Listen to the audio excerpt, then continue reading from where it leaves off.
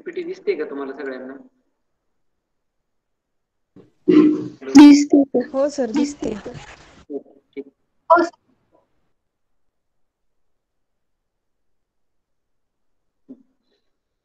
आपण आजच्या लेक्चरला बघणार आहोत commutator algebra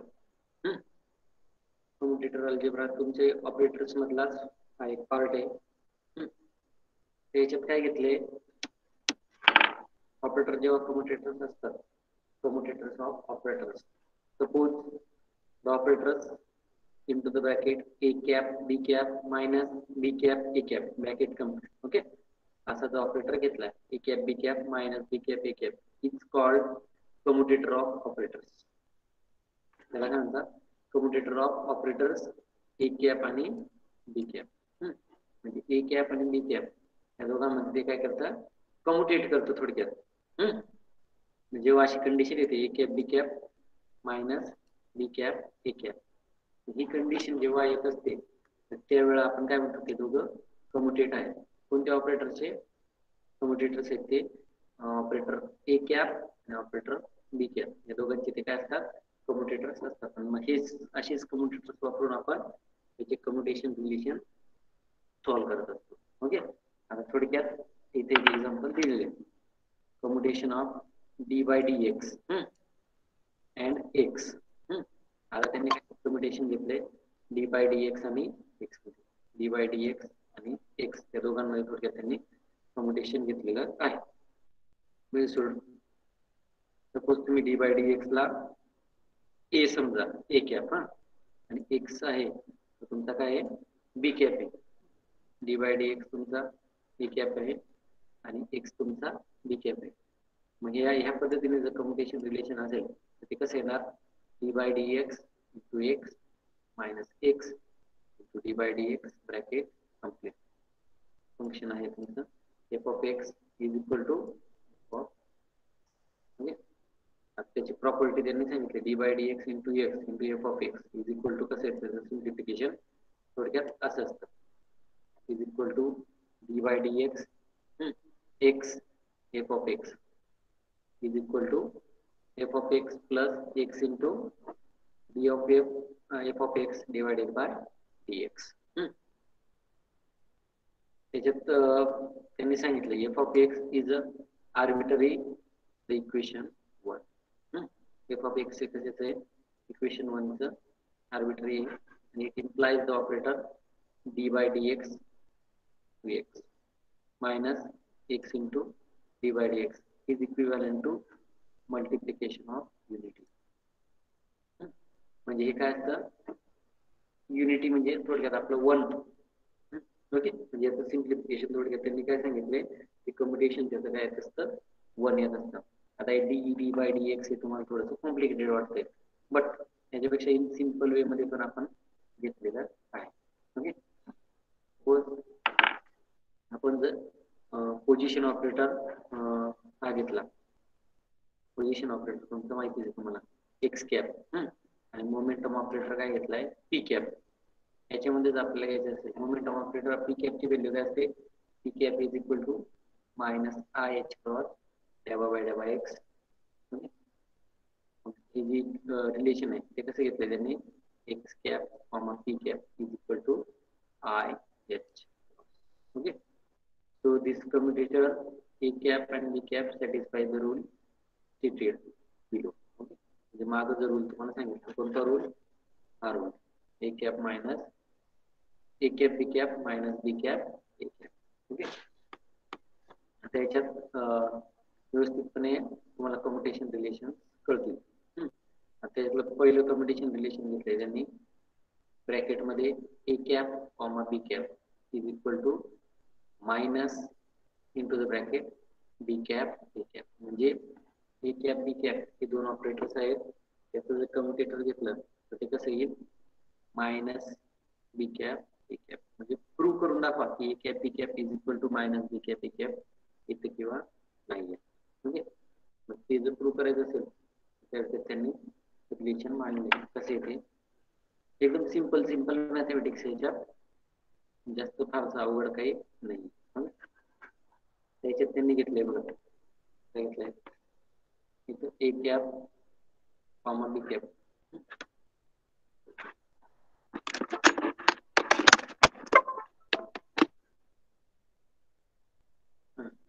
A cap comma B cap मग त्यांनी त्याचं सिम्प्लिफिकेशन कसं घेतलंय? A cap B cap minus B cap A okay simple mathematics आहे.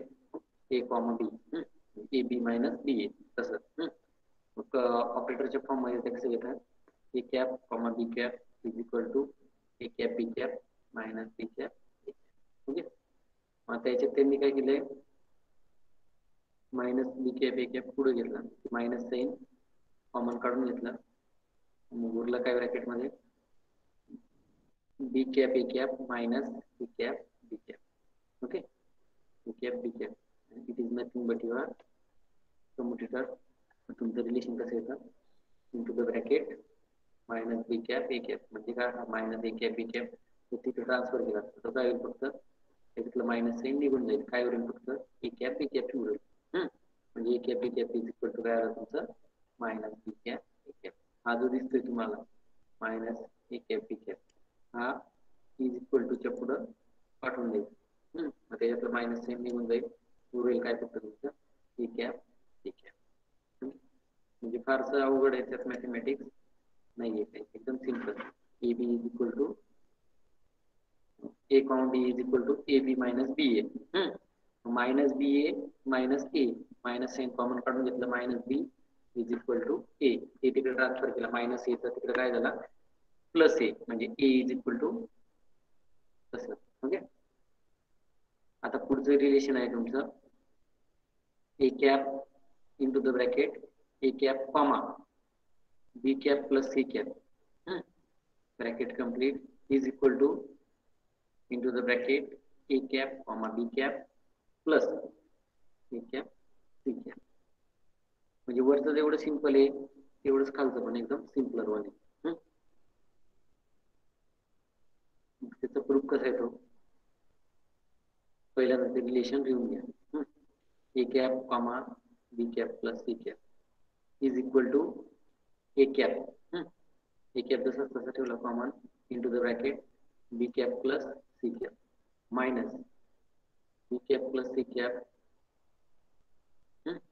into A cap म्हणजे वरती जसं घेतलंय A comma B is equal to minus B comma A याचं पण तसंच घेतलं. A plus B C minus B C into A मग आता त्याच्यात ए ब्रॅकेटच्या e बाहेर घेतलाय.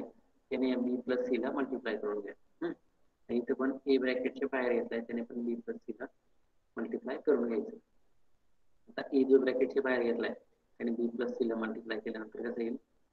Is equal to A cap B cap plus A cap C cap A cap B cap plus A cap C C cap minus B cap A cap minus B cap A cap minus C cap A cap थोडक्यात काय केलं फक्त या A ने या bracket मधल्या B plus C ला multiply केलं. ए ने बी ला मल्टिप्लाय केलं. काय झालं? A cap B cap A ने सी ला केलं plus A cap C cap minus आता या ए ने याला मल्टिप्लाय केलं minus B cap A cap आणि परत याने याला मल्टिप्लाय करा. Minus C cap C cap okay आता थोडक्यात ए बी चे टर्म वेगळे करून घ्या आणि ए टर्म वेगळे करून कसे? A cap B cap minus B cap A cap plus A cap C cap minus B cap A cap A cap B cap minus B cap A cap plus A cap C cap minus C cap आता A cap B cap minus B cap A cap इथे घेतले this is nothing but काय A B this is nothing but A B म्हणजे काय याच्याऐवजी या दोघं टर्मच्या ऐवजी काय तुमचा A B A cap B cap A C minus C काय आहे A C okay A cap C cap थोडक्यात तुमचं रिलेशन कसं झालं into the bracket a cap comma b cap plus c cap bracket complete is equal to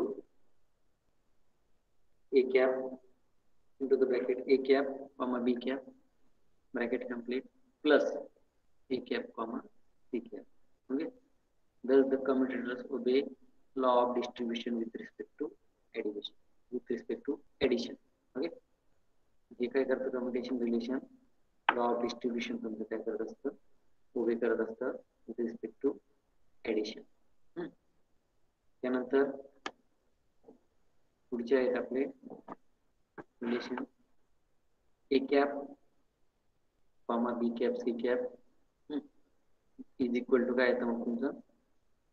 A cap comma B cap bracket complete ब्रॅकेटच्या बाहेर आहे तुमचं C cap plus B cap into the bracket A cap comma b cap? Therefore आता क्या left term a cap comma b cap plus c cap. याचं कसं integration घेतलं त्यांनी जसं की स्टार्टपासून आपण घेत आलो. ते पण घेतले. A B minus B is equal to A B तसंच याच्यात पण ए कॉमा बी सी मग ते कसं येतं? Is equal to A cap comma uh, a cap the bracket B cap C cap minus B cap C cap नंतर काय येतं थोडक्यात ते सिम्प्लिफाय केल्यानंतर कसं मिळेल तुम्हाला? A cap B cap C cap नंतर काय मिळेल तुम्हाला? B cap C cap A cap हे हे ऑल आर द ऑपरेटर्स हे ऑपरेटर्स आहेत बरं सगळे. एवढं लक्षात ठेवा. कॅप कॅप कॅप कॅप म्हणते म्हणजे त्यानंतर subtracting and adding B cap A cap C cap on RHS of above equation. We get. ज्याचा एक RHS साइड आहे LHS नाही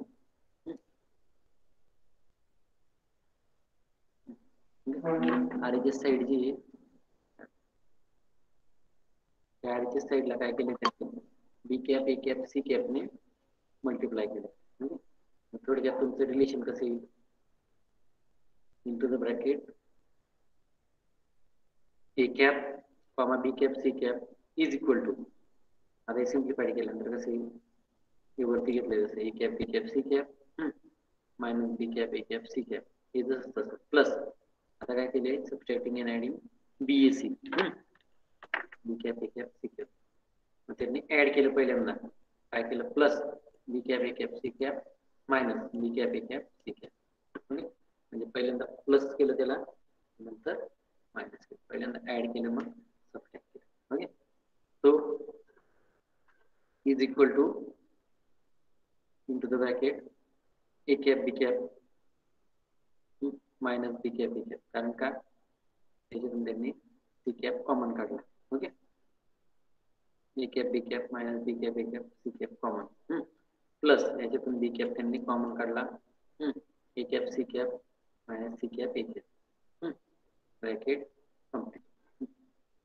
अच्छा A cap minus B cap A cap B cap minus B cap A cap काय येतं तुमचं A comma B okay A B येत ते A comma B into the bracket C cap plus B cap जसं तसा A C minus C A काय येतं तुमचं ए सी फक्त okay A cap comma C cap मग आता थोडक्यात तुमचं रिलेशन कसं येईल A cap comma B cap C cap is equal to A cap comma B cap C cap is equal to काय तुमचं A cap comma B bracket complete C cap plus B cap comma A cap okay आता या relation नंतर तुम्हाला असं समजलं असेल की A B minus B A okay A B minus B A is nothing but काय असतं तुमचा? ए बी काय असतो? ए मामा बी आणि A C minus C A okay A C minus C A nothing but तुमचा काय असतो? ए सी असतो.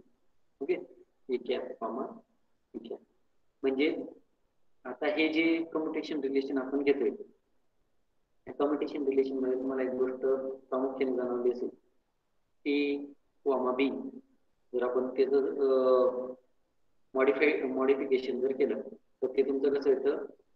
ए बी मायनस बी ए ए कॉमा बीचं कसं येतं? ए बी मायनस बी ए आणि हेच ऑल इक्वेशनसाठी लागू केले जाईल ओके म्हणजे आता इथं बघा. मागच्या रिलेशनमध्ये पण तुम्ही बघितलं असेल ए बी ए बीचं कसं केलं त्यांनी? A B minus B A cap B याच्यात पण तसंच केलं त्यांनी. म्हणजे पहिलं जे इक्वेशन आहे फर्स्ट इक्वेशन हा? हे तुमचं फर्स्ट इक्वेशन आहे. आणि फर्स्ट इक्वेशनला त्यांनी काय केलंय? बऱ्यापैकी मॉडिफिकेशन करायला सुरुवात केलेली.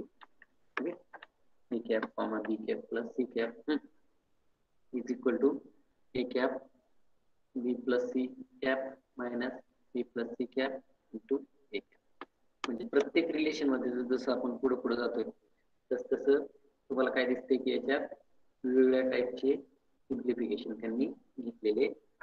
ओके हे झालं तुमचं इक्वेशन नंबर थ्री म्हणजे एकदम सिंपल कम्युटेटर अल्जेब्रा आहे. आता हे तुम्हाला दिसताना पण सिंपल दिसते आणि हा एक मुळात एकदम सिंपल फक्त तुम्हाला ते व्यवस्थित सिम्प्लिफाईड व्हर्जनमध्ये लिहायचे म्हणजे सिंपल मॅथमॅटिक्स त्याच्या प्रॉपरला आहे. A comma B is equal to A B minus A बस. ही गोष्ट तुम्हाला लक्षात ठेवायची हे सगळं कम्युटेटर अल्जेब्रा सॉल्व्ह करण्याचं. त्यानंतर तुमचं पुढचं रिलेशन आहे into the bracket a cap comma. B cap comma c cap. Bracket complete. plus b cap comma c cap comma a cap hmm, plus c cap comma a cap comma b cap hmm, is equal to 0 okay? is equal to 0 so we have we have आता पहिल्यांदा तुम्हाला माहितीच आहे A cap comma B cap C cap जर घ्यायचं असेल तर ते कसं येणार is equal to a cap comma hmm, into the bracket B cap comma C cap जसं की आपण बघितलं A A cap comma B cap म्हणजे इथं. आपण बघितलं A cap comma B cap कसं येतं ए बी मायनस बी ए तसंच ह्याच्यात पहिलं. बी कॉमा सी कसं येणार? B C minus C B okay B C minus C B हा ना?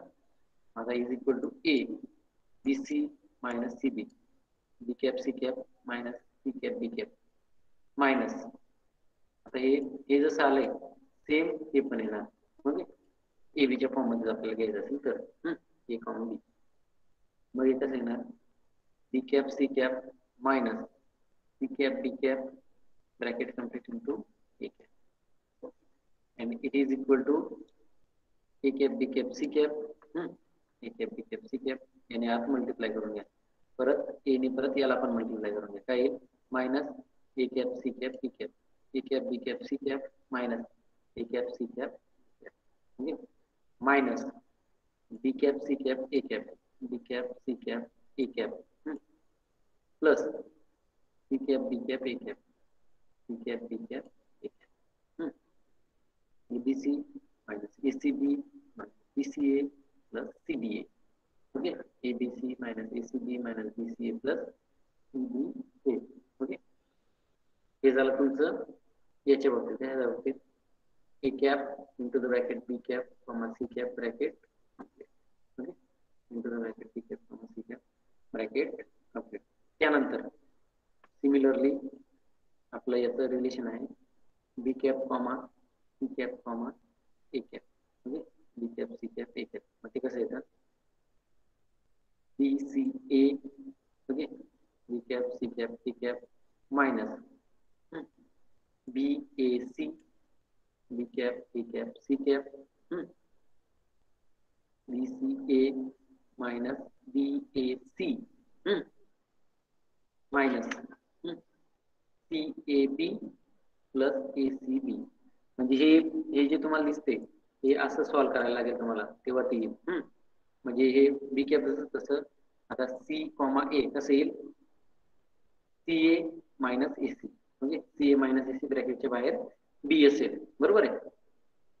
त्यानंतर फक्त मग त्याने ब्रॅकेटच्या आत मल्टिप्लाय करून घ्यायचं आत आता बी ने जर ब्रॅकेटच्या आत मल्टिप्लाय केलं तर असेल बी सी ए आणि B A C minus B परत C A B C A B plus A C B C A B plus A C B ते मॉडिफाईड करून तुमचं इक्वेशन असे सिमिलरली सिमिलरली तुमचं याचं इक्वेशन पण असं येईल सी कॅप आता हे दुसरं पण झालं आपलं सॉल्व म्हणजे plus C cap comma A cap B cap okay C cap comma A cap B cap असेल C A B minus C B A minus A B C plus BAC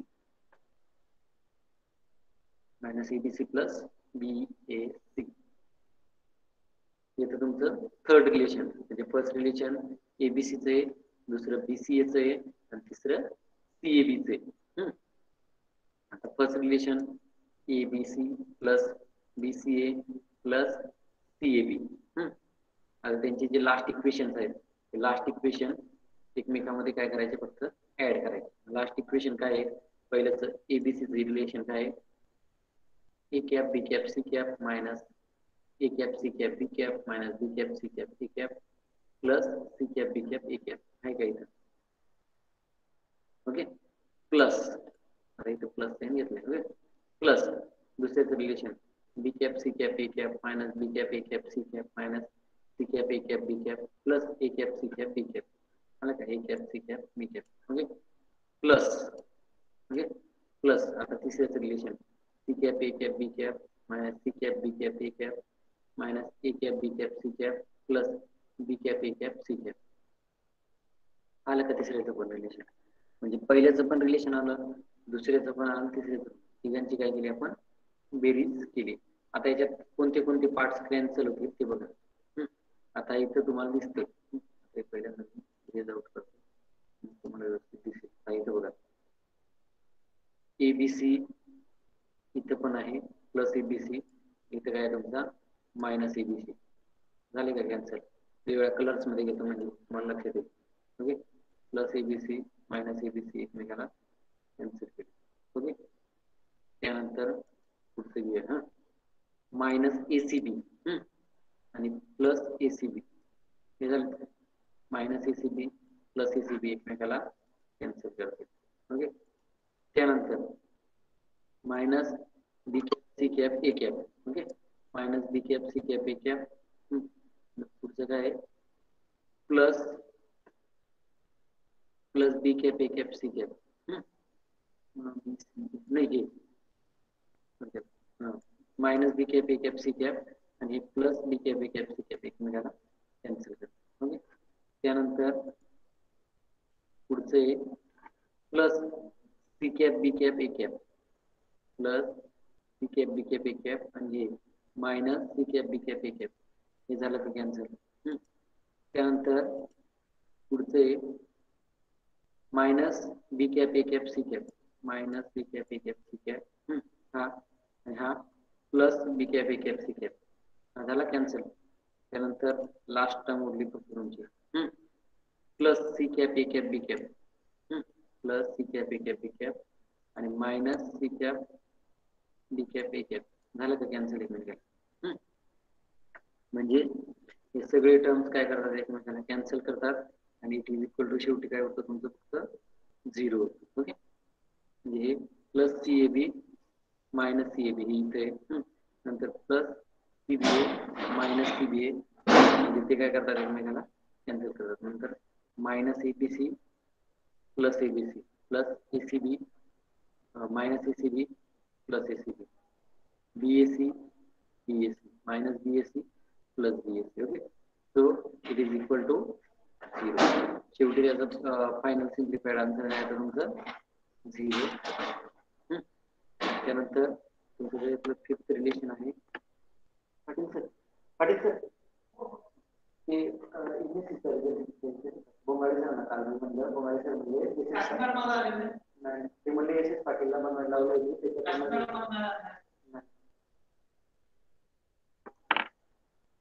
त्यानंतर पुढचं आहे तुमचं. A cap comma B cap inverse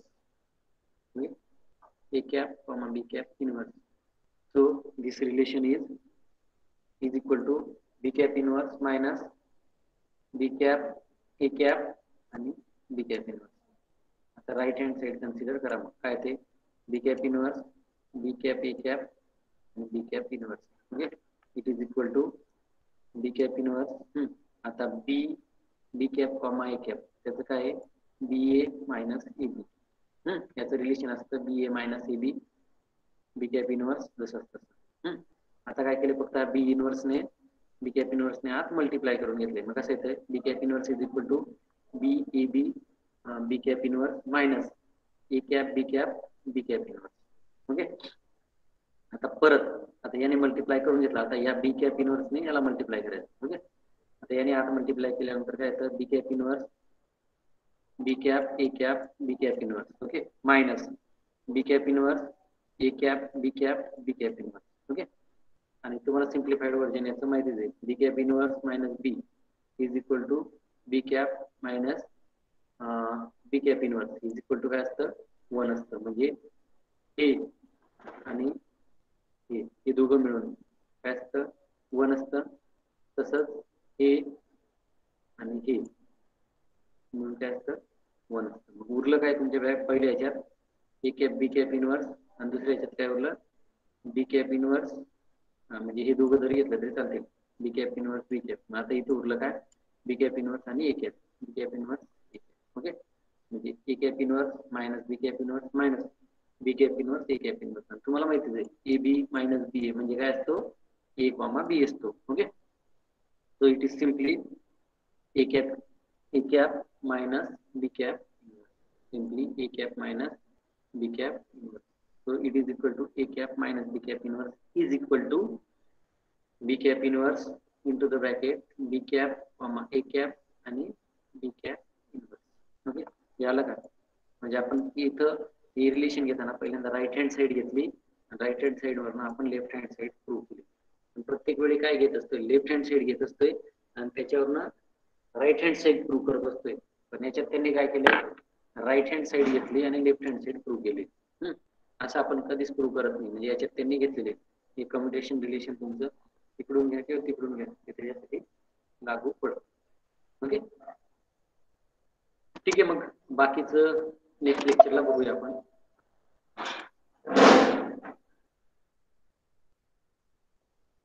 तुमचे प्रोजेक्टचे नाव द्या बरं का लवकर.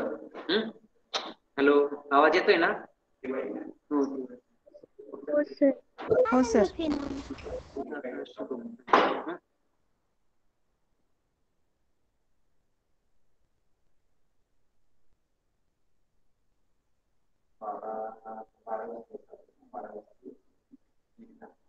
एक एक पंधरा एक पंधरा ते दोन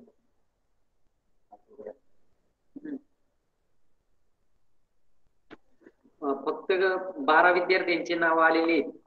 प्रोजेक्टची नावं त्यांच्या गाईडची गाईडची नावं तर तुम्हाला ऑलरेडी दिलेली तुम्हाला गाईड ऑलरेडी अलाउट करून दिलेले आहेत आम्ही. तुम्हाला फक्त गाईड कडनं प्रोजेक्टची नावं घ्यायची आहेत तुमच्या. तर ती लवकरात लवकर तुम्ही नावं घ्या आणि माझ्याकडं तुमची नावं द्या. तुमचा प्रोजेक्ट कोणता आहे? एकाने जरी मेसेज केला तुमच्या चार पैकी तरी चालेल. आता माने सरांचे स्टुडंट कोरणे सरांचे स्टुडंट आणि माझे स्टुडंट यांचे प्रोजेक्टची नावं ऑलरेडी आमची घेतलेली आहेत आणि त्यांना काम पण दिलेलं आहे. ओके आता फक्त बाकीच्यांनी ही माहिती घ्या आणि लवकरात लवकर तुमची नावं द्या. ओके ठीक आहे. पुढचं लेक्चर असेल तुमचं तुम्ही त्याला जॉईन करा मग. Have a good day to all आणि लवकरात लवकर नावं द्या. हा?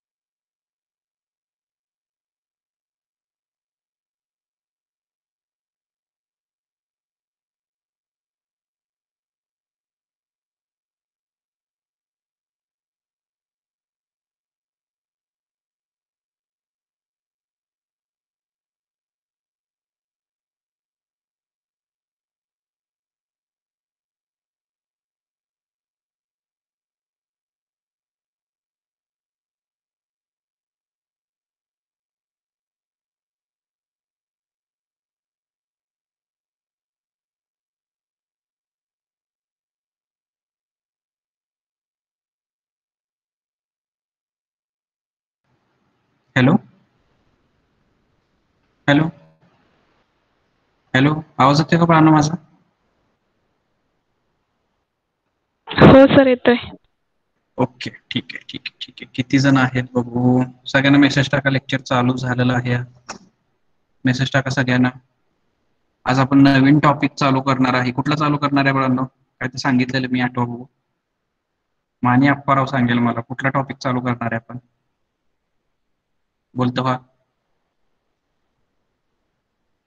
माने सुमित सांगल मुलांमध्ये मला सांगेल कोणतरी. कोण सांगेल बाळांनो? हम्म कोण सांगेल? कुठला टॉपिक चालू करणार आहे आपण? सम स्पेशल इंटिग्रल नाही. सम स्पेशल इंटिग्रल म्हणजेच त्यातलं गॅमा फंक्शन चालू करणार आहे.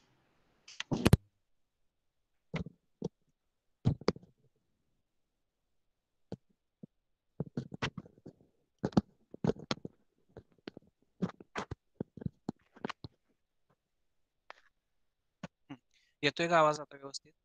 का मागापेक्षा कमी येतोय? कमी येतोय. कमी येतोय काय? आता? हॅलो? आता हा व्यवस्थित येतोय का? सर येतोय आता. मागापेक्षा ओके. ठीक आहे ठीक आहे. बघा चालू करूयात आपण. एक मिनिट द्या आम्हाला.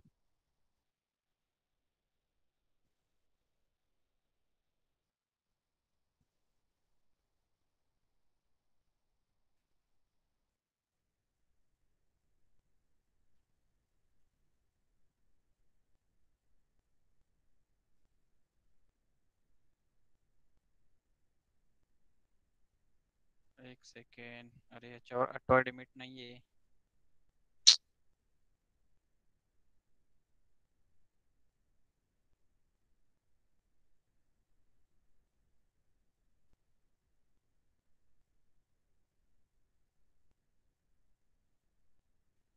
One second one second okay okay ठीक आहे ठीक आहे ठीक आहे. Light share design background colour black control C control V V V four by thirteen नाही ओके ठीक आहे ठीक आहे ठीक आहे. सगळेजण रेडी जे काय रायटिंग पॅड वगैरे असेल सगळेजण रेडी ओके ठीक आहे. चालू करूयात आपण नवीन टॉपिक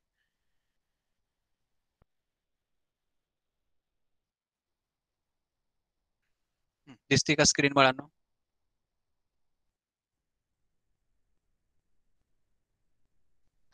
हो सर. ओके ओके हो सर.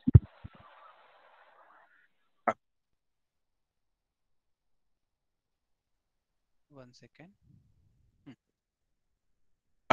काय चालू करणार आहे आज आपण? तर गॅमा फंक्शन जसं की कोणी नाव सांगितलं काय? सम स्पेशल इंटिग्रल्स बघा gamma function gamma function okay आता गॅमा फंक्शन म्हणजे काय? किंवा बाबांनो कशासाठी वापरतात गॅमा फंक्शन तर थोडक्यात जर तुम्हाला सांगायचं झालं गॅमा फंक्शन म्हणजे काय? तर एक स्पेसिफिक टाईपचा इंटिग्रलचा फॉर्म जर तुम्हाला ऑब्झर्व झाला. आता स्पेसिफिक टाईपचा इंटिग्रलचा फॉर्म म्हणजे काय? आता काही काही इंटिग्रल्स तुम्हाला माहिती आहे काही काही इंटिग्रल्स खूप कॉम्प्लिकेटेड असतात सॉल्व्ह करणं. पण भलेही तुम्ही सॉल्व्ह केलं बाबा एक एक दीड दीड पेज वापरून तरीही त्याच्याबद्दलचे जे काही न्यूमेरिकल्स असतील किंवा त्याच्याबद्दलचे जे काही ऍप्लिकेशन्स असतील बाळांनो ते करण्यासाठी तुम्हाला प्रत्येक वेळी एक एक दीड दीड पान सोडवणं सिंपल आहे का?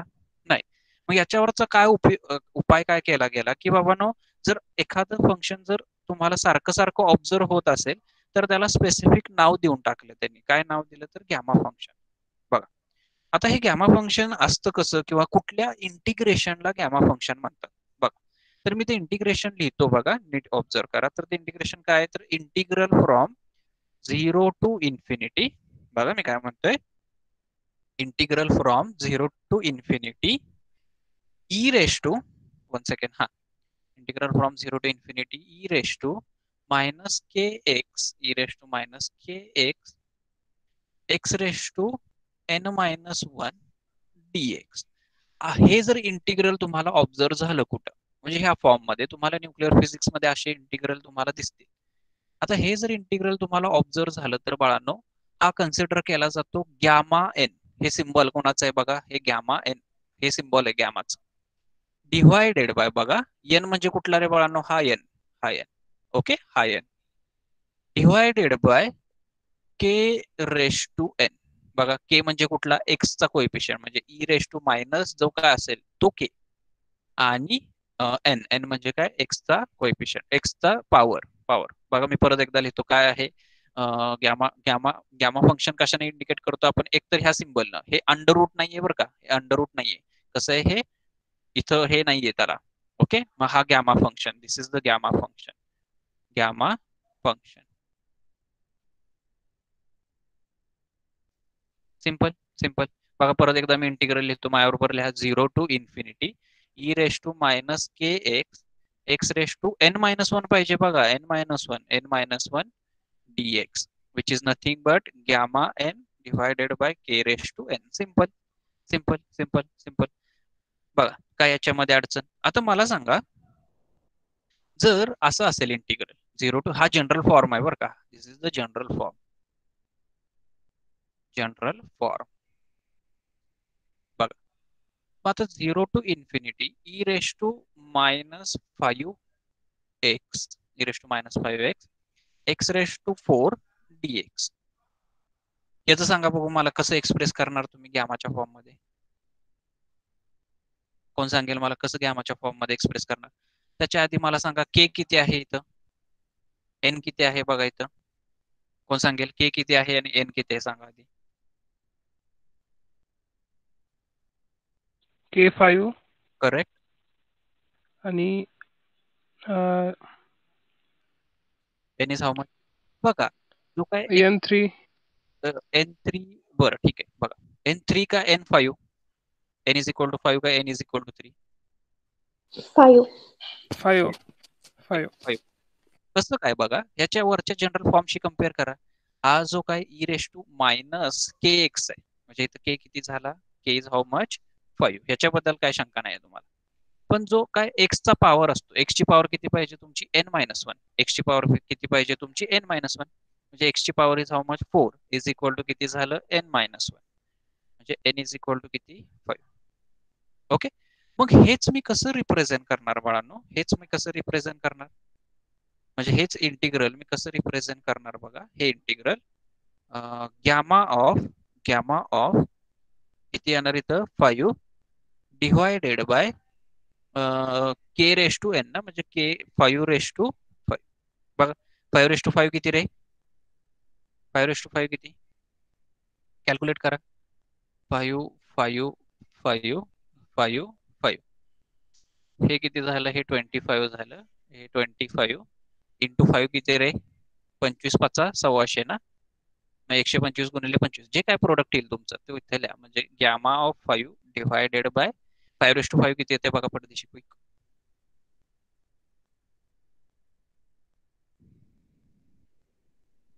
किती येते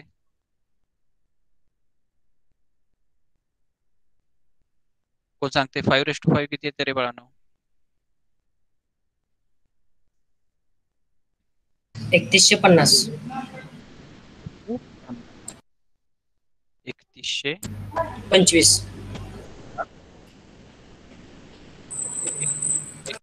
पंचवीस का एकतीसशे पन्नास? का एकतीसशे पंचवीस? किती आहे? तीन हजार एकशे पंचवीस सर.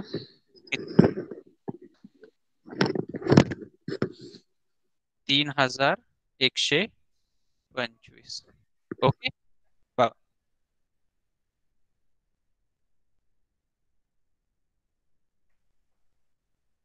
ठीक आहे. काय शंका याच्यामध्ये? काय शंका? बघा. अजून एक एक्झाम्पल घेऊयात आपण. हे लिहून घ्या परदेश quick general form general form लिहून घ्या.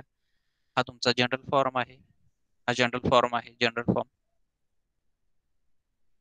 आणि हे हे अशा पद्धतीनं तर तो काय असतोय? ग्यामा ग्यामा म्हणजे तुम्हाला जिथं जिथं तुम्हाला फिजिक्समध्ये ह्या पद्धतीचं इंटिग्रल दिसेल किंवा ह्या पद्धतीचं इंटिग्रल तुम्हाला वापरावं लागेल किंवा त्याचे ऍप्लिकेशन्स असतील तर तिथं गॅमा फंक्शन वापरायचं. जेणेकरून ह्या खूप सोप्या होतात गोष्टी सॉल्व्ह करणं.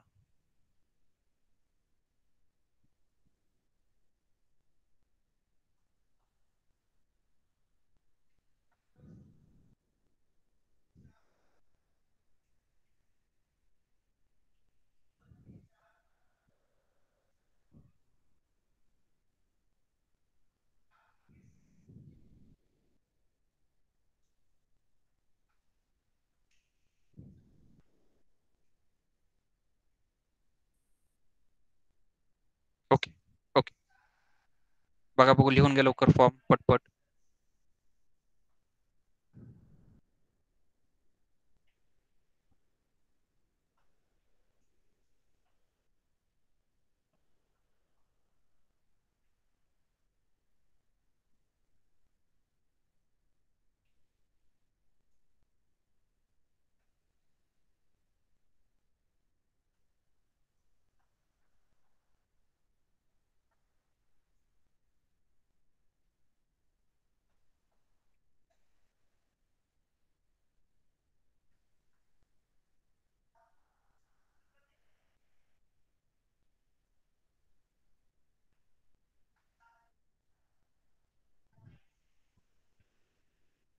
हे सेपरेट घ्या जरा.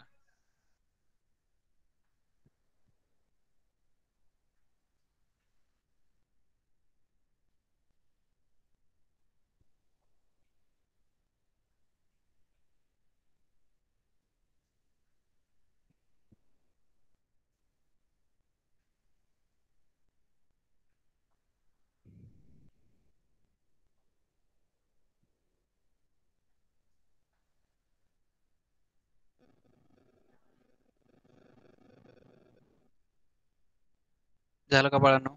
हा सर झालं. बघा खूप सिंपल आहे खूप सिंपल आहे. बघा परत एकदा मी समराइज करतो. कोण सांगेल मला general form who is going to tell me the general form of a gamma function zero to infinity zero to infinity minus infinity to plus infinity असेल तर हे मान्य नाहीये.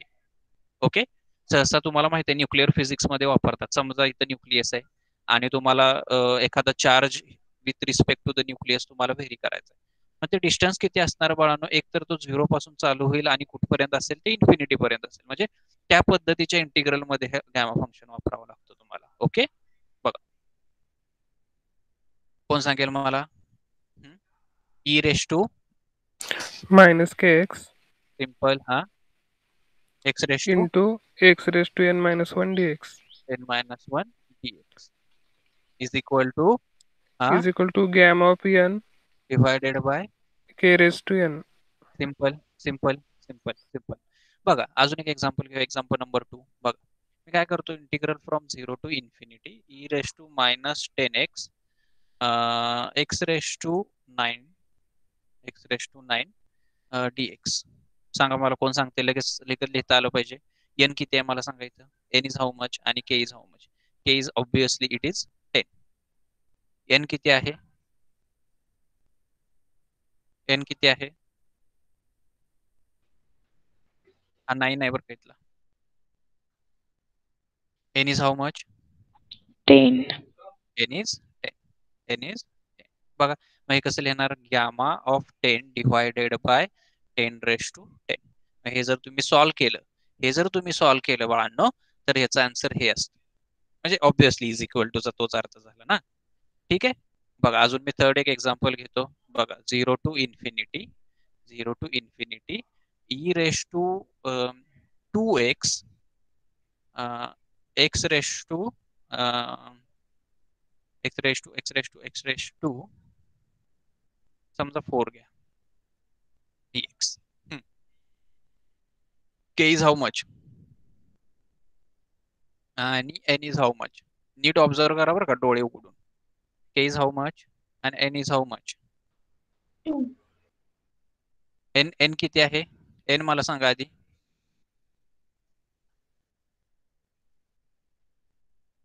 एन किती आहे?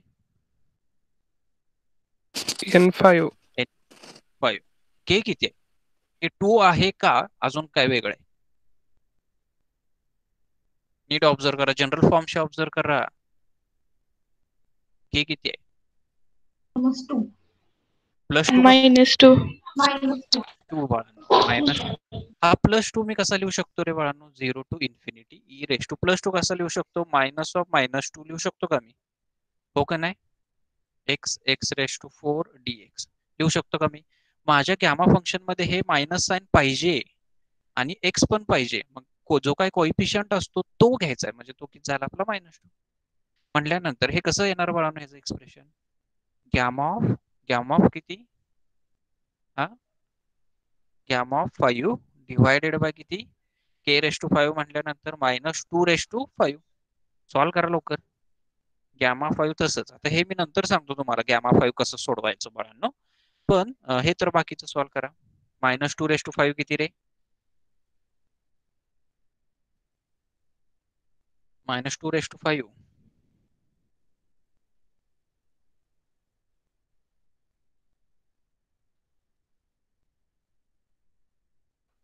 come on who is going to tell me? Minus thirty-two. minus 32 simple. So that's the value that's the value of this integral. Okay म्हणजे gamma five divided by minus thirty two that's the value आता आपण पुढं बघणार आहे बाळांनो हा gamma solve कसं करायचं? गॅमा हा सॉल्व कसं करायचं? आता जर मी हा गॅमा फंक्शन जर इंट्रोड्यूस केला नसता बघा कॉमन सेन्सने मी तुम्हाला सांगतोय की जर हा गॅमा फंक्शन मी इंट्रोड्यूस केला नसता तर हे इंटिग्रेशन घेणं सोपं आहे का रे बाळांनो? हे इंटिग्रेशन घेऊन दाखव बघू कोण घेऊन दाखवतंय मला? घेऊन दाखवा बघू मला इंटिग्रेशन कुठल्या पद्धतीने घेणार तुम्ही? काय वापरत आहेत रे? इंटिग्रल बायपार्ट वापरत आहेत का रे? हो का नाही? हो का नाही इंटिग्रल बायपार्ट हा. हो. मग आता प्रत्येक वेळी हेच जर इंटिग्रल माझं परत परत परत परत माझ्या एक्सप्रेशनमध्ये येणार असेल आणि मला ते परत परत परत परत सॉल्व्ह करायचं असेल मग का ना मी त्याच्या जनरल फॉर्मला एक डायरेक्ट गॅमा फंक्शन म्हटलं आणि मग मी गॅमा फंक्शनच फक्त स्टडी केला. म्हणजे गॅमा फंक्शन स्टडी करतोय म्हणजे काय? तर हा इंटिग्रल स्टडी करतोय मी. ओके बघा सिंपल काय अव- अवघड नाही. म्हणजे का गरज आहे स्पेशल फंक्शनची तर स्पेशल फंक्शन हे स्पेसिफिक इंटिग्रल रिप्रेझेंट करतात ओके आणि ते इंटिग्रल परत परत परत परत फिजिक्समध्ये येण्यापेक्षा काय करायचं? त्याला बाबा एक स्पेशल फंक्शन इंट्रोड्यूस करायचं म्हणजे इथं गॅमा आणि त्याच्या जर प्रॉपर्टी आपण स्टडी केल्या की हे इंटिग्रल सोडवणं काय अवघड नाही. तुम्ही बघता क्षणी त्याचा आन्सर सांगू शकता. जसं की आता हे इंटिग्रलचं आन्सर हा ठीक आहे गॅमाचं तुम्हाला माहीत नाही कसं सोडवायचं मी सांगेनच. मग ते जर तुम्हाला माहीत असतं हे डिवाइड केलं तर तुम्हाला दोन मिनिटात आन्सर येते. दोन मिनिटं कुठं तीस सेकंदात आन्सर येतंय तुम्हाला. म्हणजे हे इंटिग्रल सोडवण्यापेक्षा हे असं स्टडी करणं खूप सोपं आहे. म्हणून स्पेशल इंटिग्रल ओके बघा समजतंय का बाळांनो? एवढे दोन एक्झाम्पल लिहून घ्या.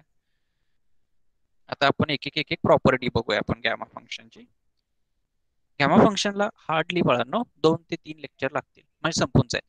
बीटा फंक्शन पण तसंच छोटसच आहे. म्हणजे हा टॉपिक खूप छोटा आहे. पण तेवढाच इंटरेस्टिंग आहे बरं का जर तुम्ही शिकला तर.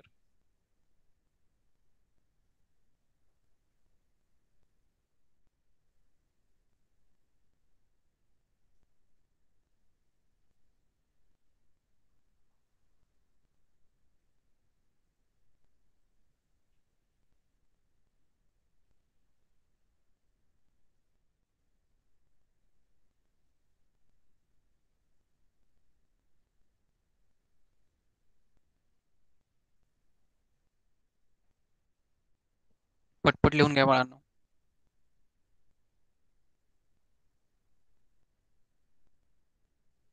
झालं सर. बघा बघा. ओके ठीक आहे. खूप सिंपल. आता सहसा सहसा बाळांनो जो काही गॅमा फंक्शन असतो आता इथं नीट बघा.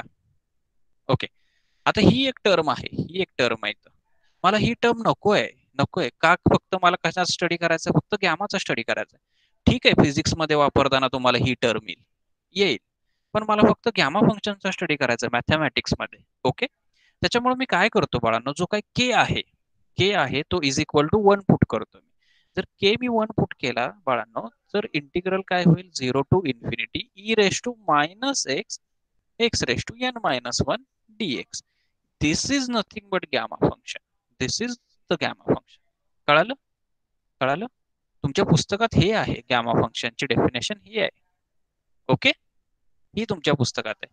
म्हणजे जो काही के आहे तो is equal to one put केलाय पण जर न्यूक्लिअर फिजिक्स पर्स्पेक्टिव्ह जर तुम्ही स्टडी करायला गेला तर काय होतंय? तिथं के टर्म असते. आणि ती के ची टर्म काय होती? तर divide k raise to n असतं ओके सिंपल काय याच्यामध्ये शंका? काय शंका? सर सिंपल बघा. आता मी काय करतो तर फर्स्ट प्रॉपर्टी प्रॉपर्टीकडे जाऊया. This is all about the gamma function gamma function जास्त थेरीमध्ये मी काय जाणार नाहीये त्याच्या. ओके बघ.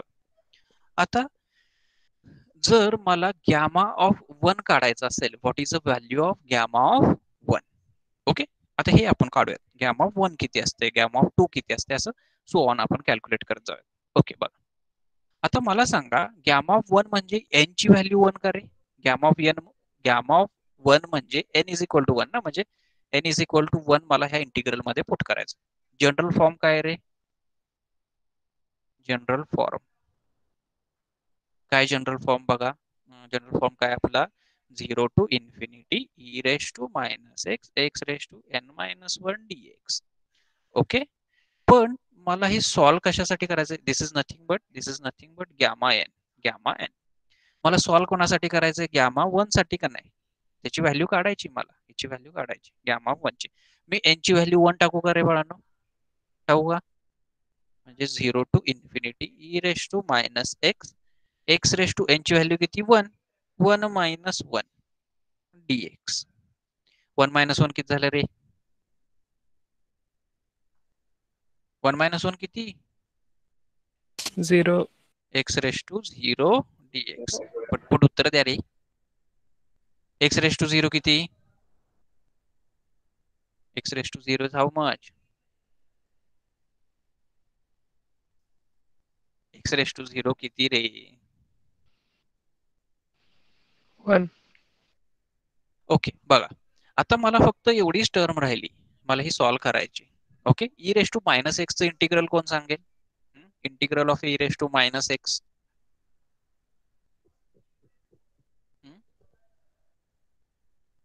is going to tell me the value of uh, काय integral of e raise to minus x रे किती integral of e raise to minus x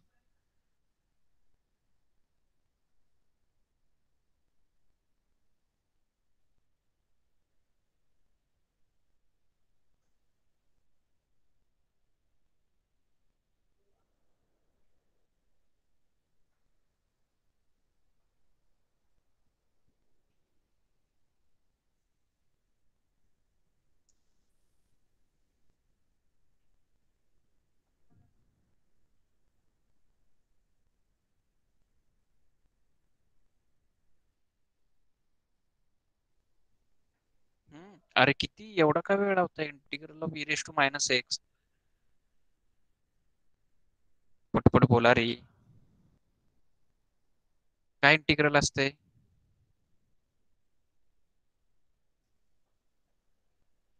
अरे बोलताय का नाही? का स्किप करू ह्या point minus e racks raise to minus x minus e raise to minus x म्हणजे काय रे? हा असा असतोय का रे बाळांनो? E raise to minus x divided by ह्याचा कोइफिशियंट म्हणजे मायनस वन करेक्ट पण लिमिट पण आहे ना इथं बाळांनो झिरो टू इन्फिनिटी बघा. आता झिरो टू इन्फिनिटी पण मायनस मी बाहेर घेतो बरं का. पहिल्यांदा काय पुट करतो? अप्पर लिमिट अप्पर लिमिट म्हणजे e raise to minus infinity हा मायनस कुठं आला कळाल ना? हा वाला मायनस आहे. Okay minus e raise to zero e raise to zero का मायनस झिरो काय लिहू मी प्लस झिरो लिहू का मायनस झिरो लिहू? मायनस झिरो असतोय काय? काय लिहू बाळांनो? ओके म्हणजे e raise to zero zero minus तसा. E raise to infinity e raise to infinity किंवा इथं e raise to minus infinity म्हणजे हे one upon e raise to infinity झालं का रे? Divided by e raise to zero किती? One म्हणजे something power zero is one always त्यात काही नाही एवढं. बघा म्हणून मी काय म्हणतो इथं मायनस तसाच घेतो वन तसाच ई रेस टू इन्फिनिटी म्हणजे कुठलाही टर्म आता ईची व्हॅल्यू किती रे? म्हणजे two point seven raise to infinity म्हणजे कुठल्याही टर्मचा इन्फिनिटी असेल तर तो इन्फिनिटीच असतो. हो का नाही? हो का नाही? म्हणल्यावर ई रेस टू इन्फिनिटी पण किती झालं? इन्फिनिटी मायनस वन बघा. मग मी मायनस तसाच ठेवतो. पण infinity is nothing but infinity is nothing but one by zero ना? हो का नाही? हो का नाही? इन्फिनिटी म्हणजे वन बाय झिरो म्हणजे वनला जर मी झिरोने डिवाइड केलं तर आन्सर इन्फिनिटी येतं. मग हे इन्फिनिटी मी कसं लिहू शकतो? झिरो बाय वन उलट उलट घ्या ना डिवाइडला म्हणून. मायनस वन म्हणजे नेमकं किती झालं रे हे? झिरो मायनस वन म्हणजे आन्सर किती झालं रे याचं? वन म्हणजे गॅमा गॅमा ऑफ वन किती? कशासाठी सोडवतोय आपण हे? गॅमा ऑफ वनसाठी सोडवतोय. गॅमा ऑफ वन किती रे? किती आलं answer one simple this is the first property gamma of one is one लिहून घ्या क्विक पटपट लिहून घ्या मुलांनो स्क्रीनशॉट मारा ह्याचे नोट्स तयार करा. मी देणार नाही बरं का काय आधी साऊंड होती माने अप्पाराव. आहेस काय? आहे का माने आहे सर. आहे सर पीडीएफ तयार करायची. फोटो बिटो व्यवस्थित मारा.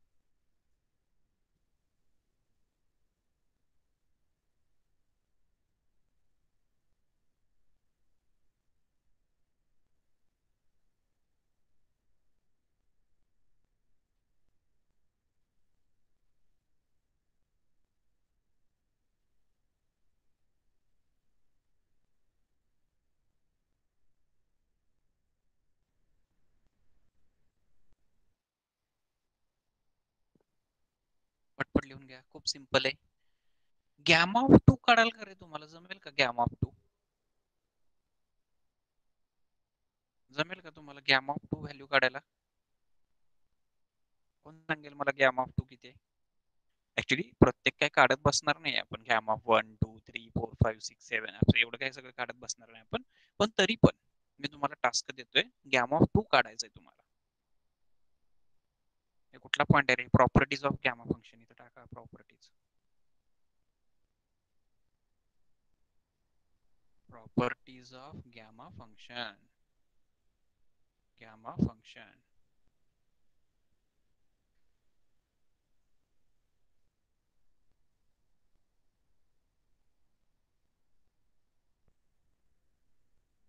पटपटल्या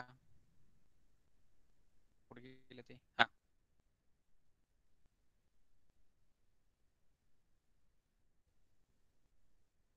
खूप सिंपल आहे बाळांनो. खूप सिंपल काय अवघड आहे का याच्यात? मानी अप्पाराव मानी तुम्ही इकडं मुलींमध्ये कोण? कोमल जाधव आहे काय? वाडकर.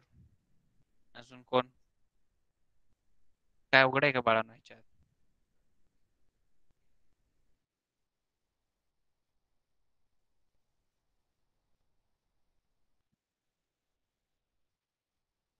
पटपटल्या पटपटल्या पटपटल्या.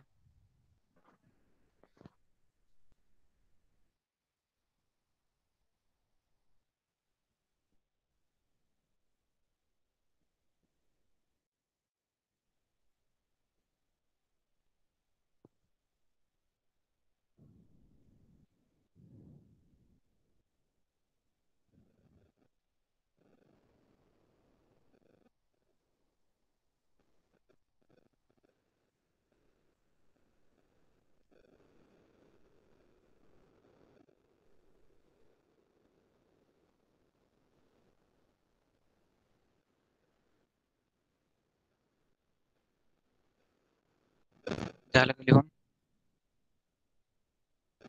झालं सर. बघा बघा बघा काय काढायला लावलंय मी तुम्हाला? गॅमा टू ची व्हॅल्यू काढायला लावली. Gamma two is how much. हे असाइनमेंट आहे बरं का.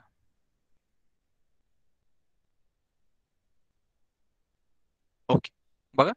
आता ऍक्च्युली याच्यानंतर दोन प्रॉपर्टी आहेत. त्याचं प्रूफ आपण उद्या घेणार आहे. बघा मी काय सांगतोय. दोन प्रॉपर्टी आहेत. त्याचं प्रूफ मी उद्या घेणार आहे. कारण की एवढ्या छोट्याशा टाइममध्ये ते होणार नाहीये. पण त्याचं काय जे काय ऍप्लिकेशन असेल हे असाइनमेंट आहे. मान्य आहे. सुटेल ना? एकही मुलगा मला पाठवत नाही बरं का. काही मुलंच फक्त मला असाइनमेंट सेंड करतात. ओके बघा. असाइनमेंट टू ते गॅमा टू ची व्हॅल्यू तुम्हाला काढायची. पण बाळानो एक थेरम आहे. त्याचं प्रूफ आपण उद्या बघूया. पण मी तुम्हाला सांगतो की त्याचं अप्लाय कसं करायचं? खूप सिंपल आहे खूप सिंपल आहे. बघा काय थेरम आहे? जर समजा असं असेल gamma of n plus one gamma of n plus one असं असेल. वन सेकंड हे असं का फ्लक्च्युएट होते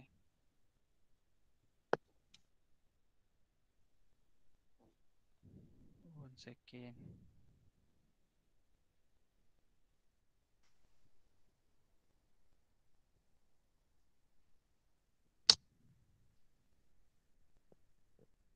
ओके. समजा थर्ड किती सेकंड प्रॉपर्टी ना सेकंड प्रॉपर्टी काय आहे gamma of n plus one तर याची व्हॅल्यू असते बघा तर ती व्हॅल्यू असते एन फॅक्टोरियल किती असते ती? एन फॅक्टोरियल पण पण हा जो काय थेरम आहे तो कधी वापरायचा? ज्यावेळेस n is positive integer positive integer n is a positive integer. If it is a positive integer, you have to use this formula. Okay आता तुम्ही म्हणाल की सर कसं काय? आता कसं वापरायचा हा फॉर्म्युला आता समजा मग जर मला हे काढायचं असेल gamma of five okay gamma of five ची व्हॅल्यू मला काढायची. पहिल्यांदा मला सांगा हे फॅक्टोरियल म्हणजे काय असते रे? थ्री फॅक्टोरियल किती असते व्हॅल्यू कोण सांगते मला? Three factorial is how much factorial माहीत आहे ना तुम्हाला? Three into two into one. Three into two into one. Okay factorial तर माहीत आहे तुम्हाला. एन इज पॉझिटिव्ह इंटीजर म्हणजे कळतं ना? इंटीजर मला सांगा four by three it is integer or not integer number or not ह्यातलं integer कोण आहे बाळांनो? पाच आहे का चार बाय तीन इंटीजर आहे? इंटीजर कोण आहे ह्यातलं? इंटीजर नंबर म्हणजे काय रे? आता तिथं येऊन मार दिन बरं का एकेकाला. इयत्ता दुसरीतलं तुम्हाला आठवणावे इंटीजर काय असते रे माने परव कुठला इंटीजर ह्यातला फोर बाय थ्री का फाईव्ह इंटीजर कुठलं? फ्रॅक्शन कुठलं? फ्रॅक्शनल नंबर कुठले? Four by three four by three integer की fractional fractional fractional this is the fraction fractional number त्याच्यासाठी नाही वापरायचा हा फॉर्म्युला कोणासाठी वापरायचा? इंटीजरसाठी वापरायचा. कळेल तुम्हाला पुढं पुढं. ओके फ्रॅक्शन नंबरसाठी पण वापरू शकतोय हा फॉर्म्युला पण फ्रॅक्शन नंबरचं फॅक्टोरियल काढणं इझी नाहीये. त्यामुळे नका त्याला वापरू. ओके बघा. आता मला gamma of five gamma of five मला काढायचंय. बघा. आता माझा फॉर्म्युला काय? Gamma of n plus one तुम्ही म्हणाल सर इथं प्लस वन नाहीच की. मग कसं काढू मी? अरे पण मी हे gamma five four plus one लिहू शकतो ना. हो का नाही? लिहू शकतो का नाही? हो. बघा. आता पण हा जो काय आहे हा एन झाला. This is n plus one तर माझ्या फॉर्म्युल्यातच आहे. म्हणजे इथे किती झालं? गॅमा फाईव्ह गॅमा फाईव्ह किती झाला? फोर फॅक्टोरियल गॅमा फाईव्ह किती झाला? फोर फॅक्टोरियल अरे म्हणजेच किती फोर फॅक्टोरियल म्हणजे किती रे? चार गुणुले तीन गुणुले दोन गुणुले एक. म्हणजे किती? चार त्रिकोण बारा बार दोन्ही चोवीस. काय अवघड आहे रे गॅमा फाईव्ह काढणं? ह्याची काढा लवकर चला. Gamma of seven gamma of seven आपला फॉर्म्युला वापरायचा. काय फॉर्म्युला आहे रे? कोण सांगेल मला? मुलींमध्ये कोण सांगेल? काय फॉर्म्युला आहे गॅमाचा अरे फॉर्म्युला काय गॅमाचा gamma of n plus one is equal to हा? बोलतो अरे. हा gamma of n plus one अरे किती रे gamma of n plus one n पटपट फॅक्टोरियल बोला रे लिहून घ्या लवकर आणि गॅमा ऑफ सेवन सांगा लवकर सेवन ट्वेंटी सेवन ट्वेंटी म्हणजे किती factorial six factorial six factorial मग किती अवघड आहे रे एवढा का लेट लावताय मी स्किप करेन बरं का असलं जर रिस्पॉन्स असेल ना मी डायरेक्ट प्रॉपर्टी दिली स्किप करेन सगळं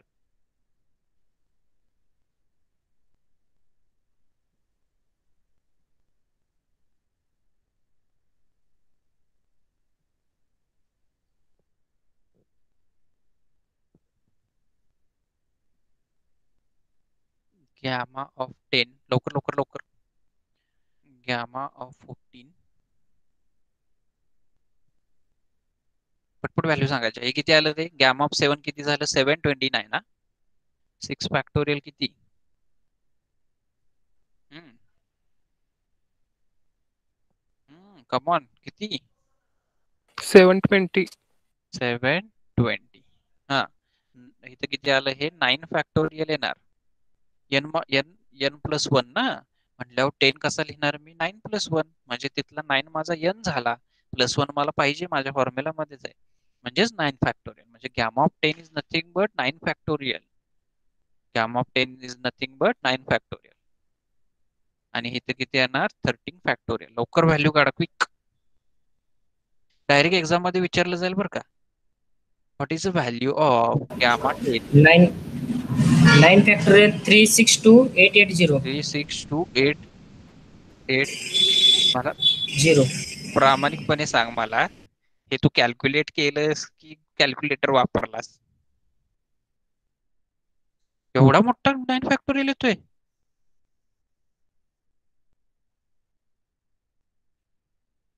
मला नाही वाटत एवढा मोठा येईल. सिक्स फॅक्टोरियल कसा लिहिणार मी? इथं तुम्ही सिक्स फॅक्टोरियल कसा लिहिणार? म्हणजे nine eight into seven into सातशे वीस. आठ नव्वे बहात्तर. बहात्तर गुणिले सात सात दोन्ही चौदा हातच्याला एक साती सात एकोणपन्नास आणि एक पन्नास या दोघांचा गुणाकार एवढा मोठा येतोय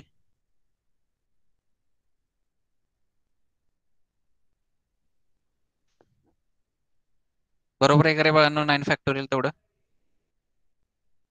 हा एक्झाममध्ये एवढं मी मोठं नाही विचारणार.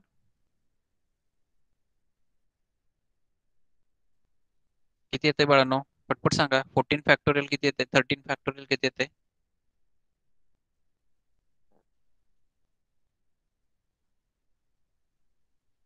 हा येते की? एवढंच मोठं येते ठीक आहे. आणि थर्टीन फॅक्टोरियल किती रे?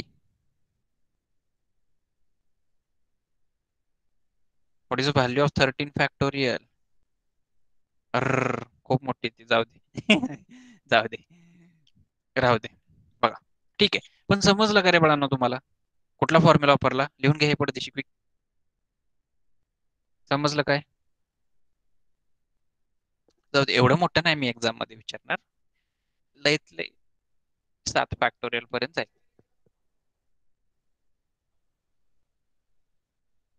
लिहून घ्या लिहून घ्या लिहून घ्या. सेकंड प्रॉपर्टी काय? Second property gamma of n plus one is n factorial gamma of n plus one is n factorial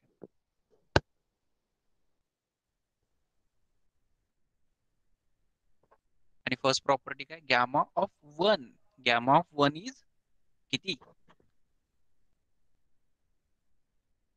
काय अवघड आहे का त्याच्यात? ठेवून घ्या पडदेशी quick notebook proper maintained here.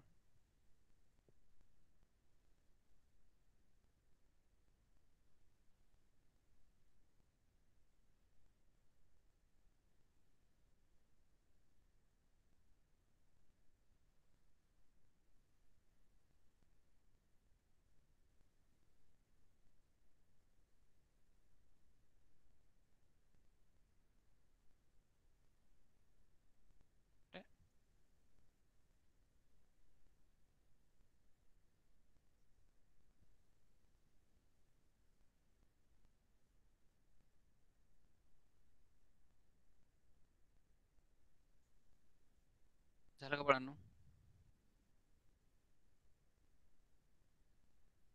Hello sir हा असाइनमेंट दिली ती ह्या फॉर्म्युल्यानं सोडवू की मग इंटिग्रेशन काढून? इंटिग्रेशन रे.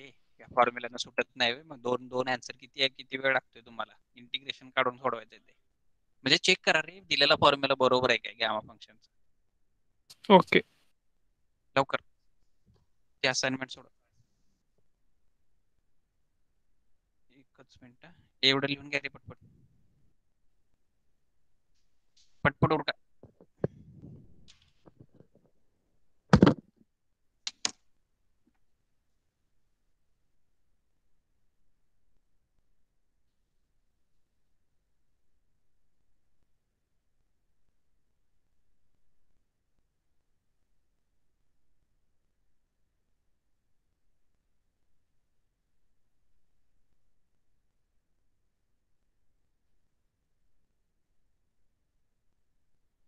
झालं सर.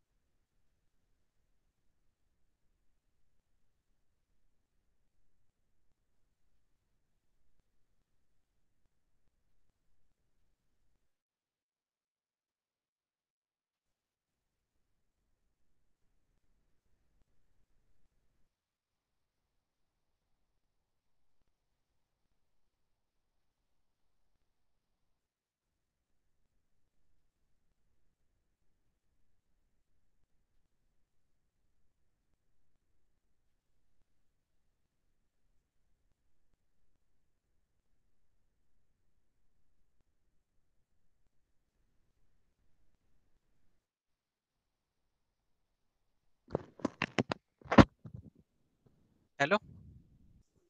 ऐका गेला हा सर झालं लिहून झालंय काय? सॉरी जरा काम आलेलं कुठे गेलाय? हा ठीक आहे आपण इथंच थांबूया. आहे ना काय शंका नाही ना आजच्या लेक्चरमध्ये? हो. नाही. ओके ठीक आहे इथंच थांबूया आपण.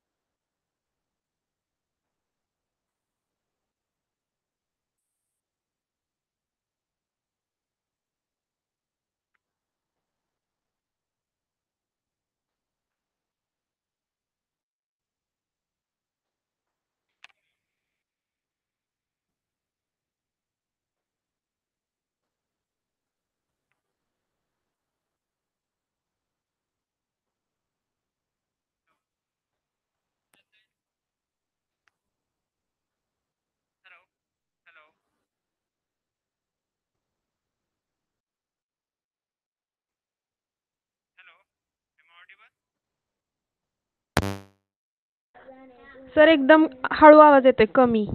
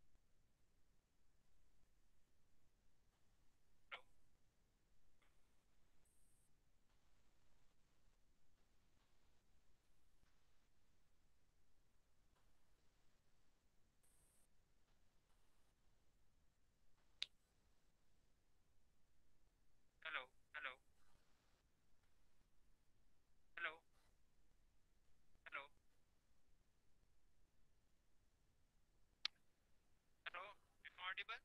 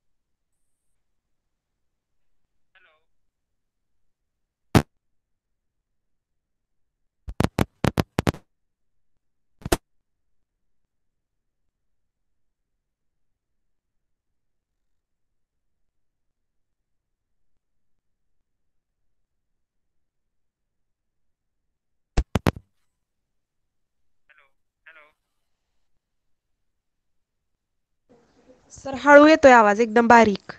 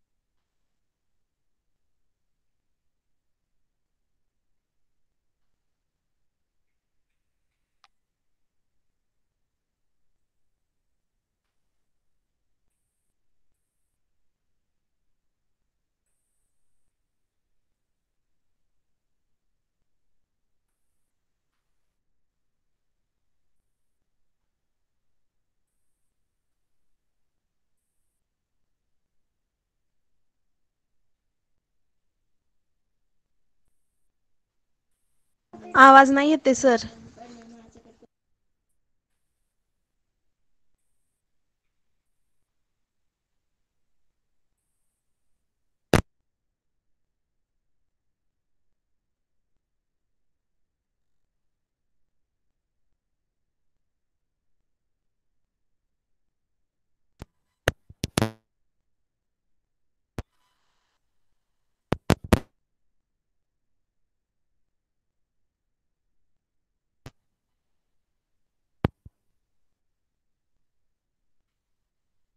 आवाज नाही येते सर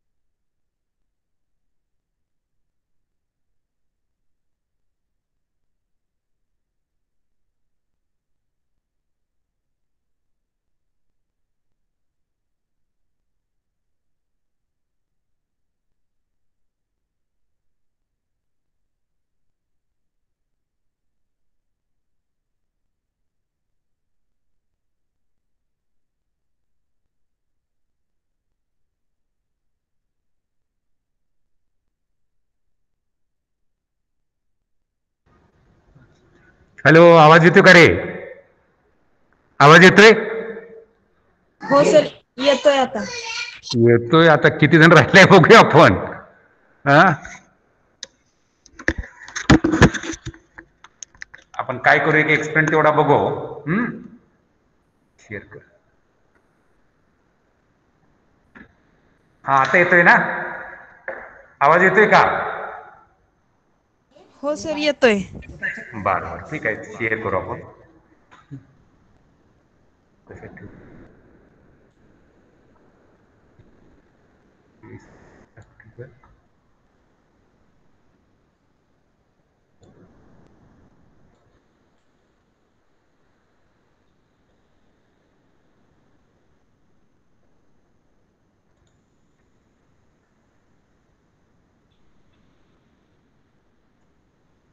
हा। स्क्रीन दिसते का रे स्क्रीन दिसते हा। हो। दिसते सर दिसते हा बरं बरं. चालू करू. एक दोन मिनिटात लगेच चालू करू आपण.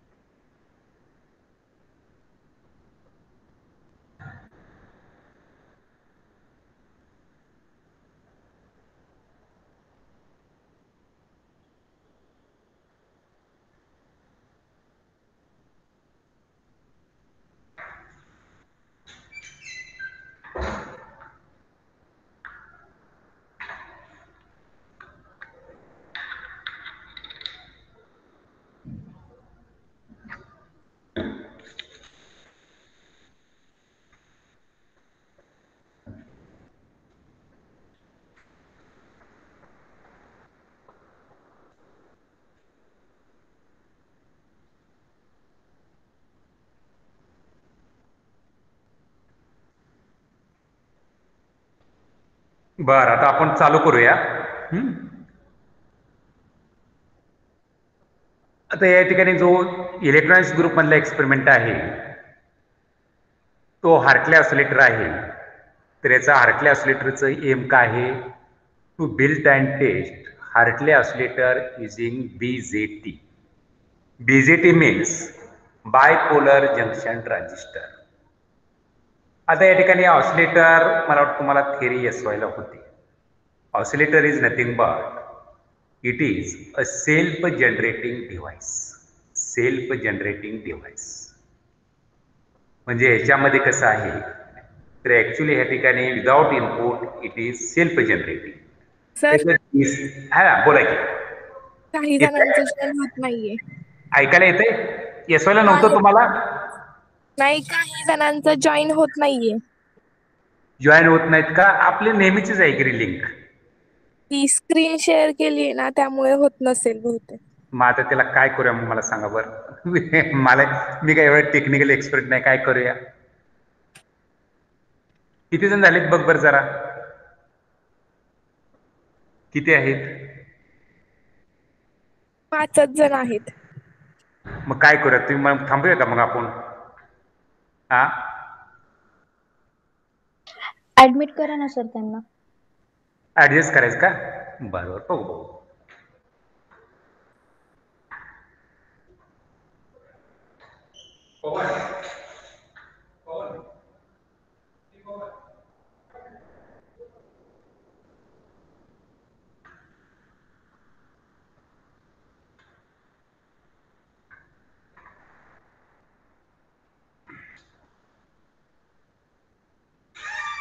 त्यांचं काय होतंय पाच जणच फक्त जॉईन झालेत बाकीचे जॉईन होऊन येत होता येत नाही शेअरिंग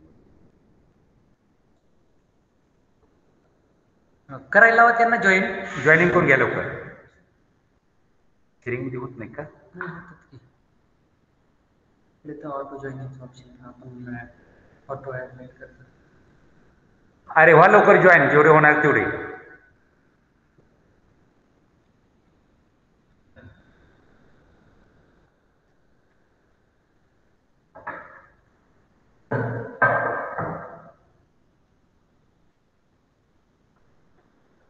लवकर लवकर.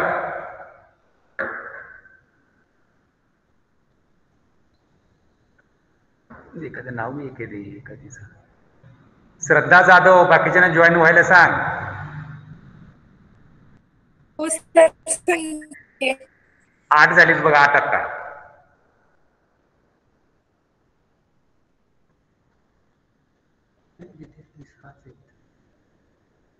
आपले सहा सहाच आहेत बघा सहा.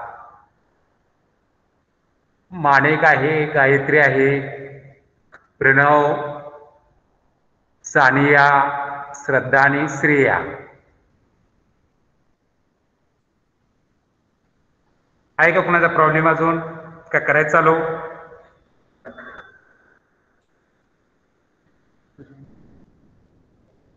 आहे ना?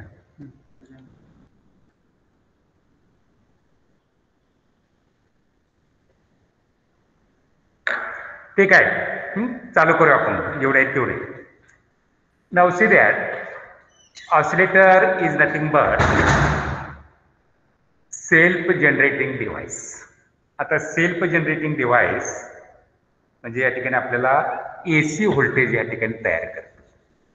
We know that rectifier produces जो converse A C into D C but here oscillator produces A C from that is D C D C फक्त ह्याला काय करतो आपण?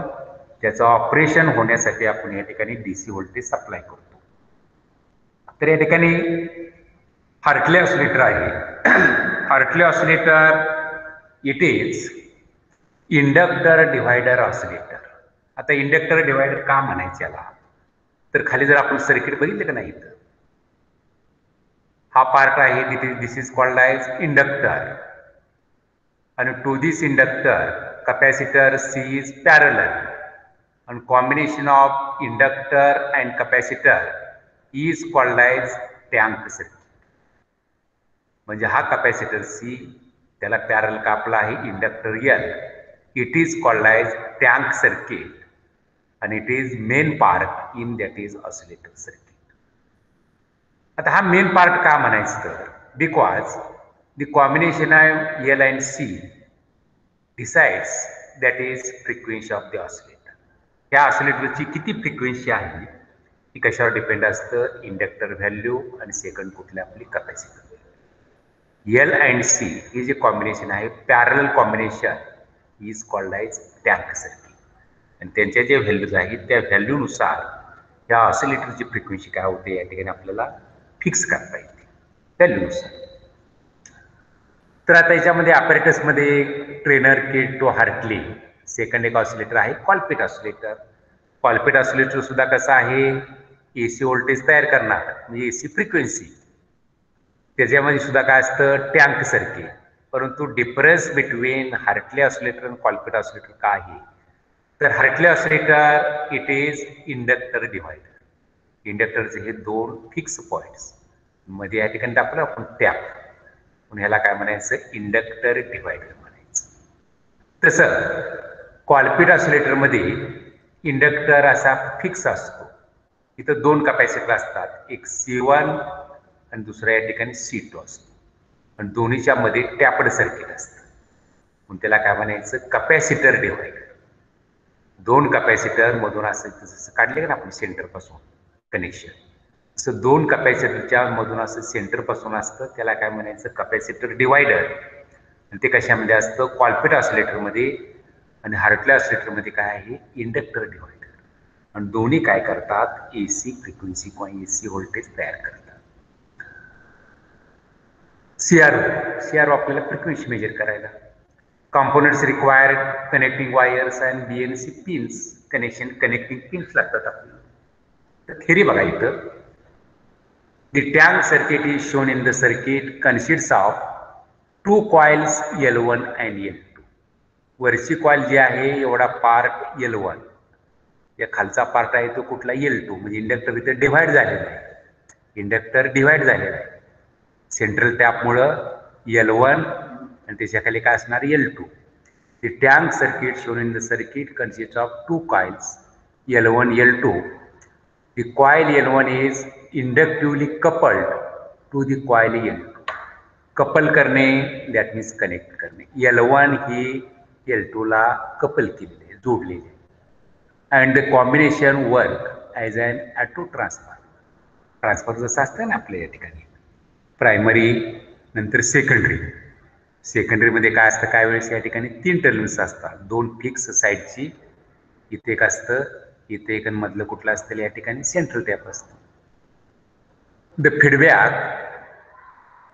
backward between output and input circuits are accomplished through auto transformer action which also introduced a phase shift at 180 degree. आता feedback म्हणजे काय feedback that is part of the output that is given to the input part of हे circuit बघा पहिल्यांदा circuit इथं plus nine volt tank circuit C आणि inductor इथला L one L two हे तुमचं काय असणार? Parallel combination it is tank circuit. त्याला आपण इथे काय दिलं नाईन व्होल्ट दिलेलं आहे. परत ते नाईन व्होल्ट कुठे जाणार? आपलं ट्रान्झिस्टरला for working B C one zero eight आहे. इमिटर बेस कलेक्टर मग या ठिकाणी बेस इथे कपॅसिटर आहे. इमिटरला वन के परत इथं तुमचं हे आहे दिलेलं आहे. Four seven double zero pico farad आणि हे जे असेल ते तुमचं काय असेल इंडक्टरचं सेंट्रल डॅमेज जोडलेलं आहे. कलेक्टरचा इथं आउटपुट आपण घेणार आहे. आता इथं बघा फीडबॅक म्हणजे काय? तर इथून जे आउटपुट आपल्याला जे मिळणार आहे त्या आउटपुटचा काही पार्ट आपण इनपुटला देतो. त्याला काय म्हणायचं? फीडबॅक आउटपुटचा some part of the output that is given to the input that is called as feedback मग आता हे फीडबॅक जे व्होल्टेज आहे त्या फीडबॅक व्होल्टेजमुळं आपल्याला या ठिकाणी ऑसिलेशन तयार झाली. तर म्हटलेलं आहे बघा. The feedback between the output आणि input circuits are accomplished through auto transformer action which also introduced phase shift of one eighty degree आता one eighty degree phase shift तुम्हाला थेरीला झालं असेल फेसिफ्ट म्हणजे काय? इनपुट आणि आउटपुट सिग्नलमधली phase shift सिग्नलमधली the phase reverse between the output आणि input voltages occur because they are taken from the opposite ends of the coils L one L two with respect to the tap which is grounded the frequency of oscillator is given by हे बघा ते तुमचं inductor tank circuit फक्त लक्षात ठेवायचं या tank सर्किटमुळे याची फ्रिक्वेन्सी काय होती? तयार होते. आणि आउटपुट घेताना आपण इथं कलेक्टरपासून घेतलेलं आहे. Output collector emitter base collector हा जो पार्ट आहे का नाही तुमचा? इमिटरला त्याला आपण इनपुट दिलेलं आहे बघा. इनपुट दिलेलं आहे. फीडबॅक फीडबॅक म्हणा त्याला. त्याला that is called as feedback occurs when they are taken from the out opposite ends of the coil cell on L2 with respect to tap which is grounded the frequency of oscillator is given by f0 is equal to 1 upon 2 pi under root L equivalent into C. आता या ऑसिलेटरची frequency कसं आहे तर one upon two pi under root L equivalent L equivalent म्हणजे काय L one L two आपण काय घेतलेलं आहे सिरीजमध्ये आहे त्याचं इक्वलंट इंडक्टन्स काढला पाहिजे का नाही equivalent inductance into capacitor value C ह्या दोन व्हॅल्यूवर ह्या सर्किटची फ्रिक्वेन्सी काय असते? या ठिकाणी अवलंबून असते. आता ॲक्च्युली आपल्याला हा प्रॅक्टिकल केल्याशिवाय आपल्याला कळणार नाही. तर या काय होणार? ते हवेतच होणार आहे. तर आता एक परवाच सांगितलेलं आहे मी साहेबांनी सांगितलेलं आहे. आता टीवायची जे लहान लहान वर्गातले मुलांना बोलवायला सांगितलेलं आहे. ऑफलाईनमध्ये आपलं म्हणजे कॉलेजमध्ये तर आता आपण काय करणार? आम्ही जरा टाइम टेबल करणार आहे. सगळी एकदम न बोलवता निम्मी निम्मी पोरं बोलवायची किंवा एका वेळेस बोलली तर दोन लॅबमध्ये आपण प्रॅक्टिकल घ्यायची. तर तुमचा ऑनलाईन थिरी जर आपण घेतोयच तिथे काय अडचण नाही. तुमचं प्रॅक्टिकल जे असेल ते प्रॅक्टिकल मात्र आपण पूर्ण करून घेऊ. ऑफलाईनमध्ये तुम्हाला बोलवायचं आहे. आता अकरा बारावी मार्फत चालू चालू झालेलं आहे. त्यामुळं तुम्हालाही बोलवून T Y B S C आणि एम एस सी वन आपल्याला प्रॅक्टिकल पूर्ण करावं लागेल. आपण काय करू थांबू इथं ते काय होतं हवेत सर्किट असं तुम्हाला सांगून पण काय कळणार नाही. तुम्हाला ते पार्ट दाखवले पाहिजे. तर आपण इथं थांबूया. आणि आता एक आठवड्यात आपण किंवा किती दिवसातच सांगतात साहेब बघूया आपण. मग सांगितले तिने बोलवायला टीवायच्या मुलांना. तर इथं तुम्हाला बोलवलं का प्रॅक्टिकल तुमचं आपण या ठिकाणी पूर्ण करून घेऊ? ठीक आहे मग थांबूया आपण. वा क्विट सर्वांनी. बरं का रे? सर्वांनी थांबा. तर तुम्हाला आपण ॲक्च्युली ऑफलाईन आपण तुम्ही कॉलेजला तुम्हाला बोलवायचं आहे. प्राचार्य साहेबांनी सांगितलेलं आहे T Y B S C आणि एम एस सी वनची मुलं बोलवून इथे घ्या. आता आपण थिअरी तर तुमची ऑनलाईन होतच होतीच फक्त प्रॅक्टिकल जे असेल ते तुमचं प्रॅक्टिकल आपण मॅक्झिमम इथं आपण पूर्ण करू.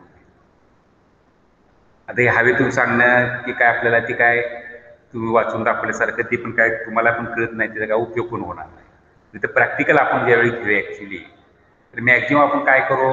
आपले छत्तीस मुलं आहेत समजा. तर अठरा अठराचे आपण दोन ग्रुप करू.